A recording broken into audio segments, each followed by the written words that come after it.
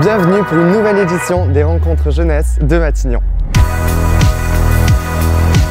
Des jeunes entre 13 et 30 ans se donnent rendez-vous chaque mois pour parler avec la Première ministre Elisabeth Borne de leurs préoccupations. Pour cette troisième édition, les enjeux d'avenir professionnel seront au cœur des discussions.